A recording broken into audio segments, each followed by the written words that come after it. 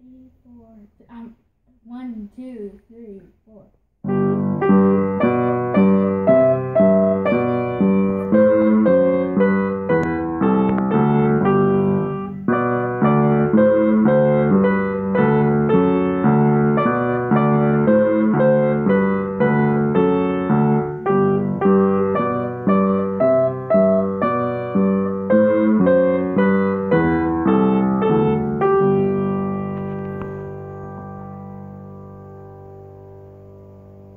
Yeah, that's how you do it.